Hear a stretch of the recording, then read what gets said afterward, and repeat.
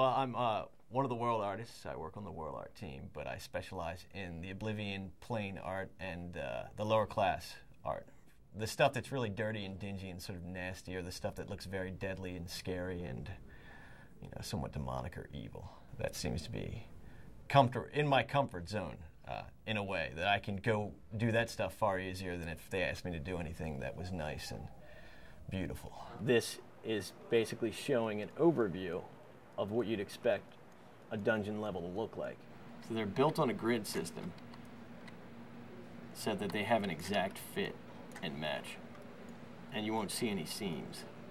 You know, it's it's a lot like a Lego set in the way, except you know, far more complex and detailed.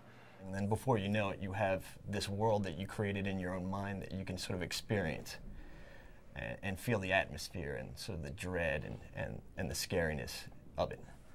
This area is unique because it's a gas chamber.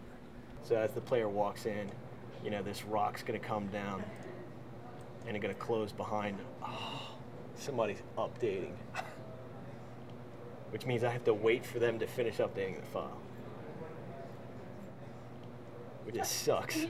I mean, I live, I live a pretty normal life. I have a wife and, and two uh, daughters, so it's, it's very normal uh, for me. But they they exist in that world with me. Like they're exposed to the monsters and to the films and all the stuff that I have in the house. And you know, I love the undead.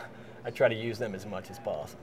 Just bring in one of these guys, pop them down, and so like this one only has one arm, or the other one has no head.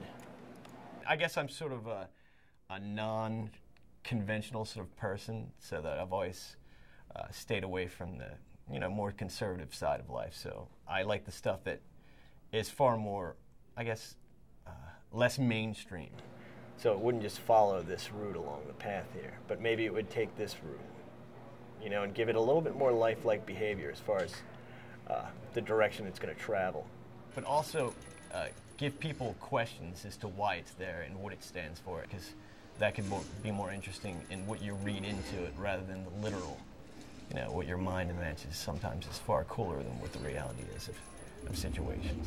So hopefully that will explain some things in a way.